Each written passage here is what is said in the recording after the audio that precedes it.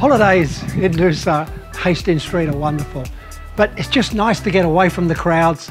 Up here, we've got this beautiful four bedroom villa with these stunning views of Laguna Bay and you can watch the sunsets going down over the national park. Just step inside and enjoy this beautiful villa.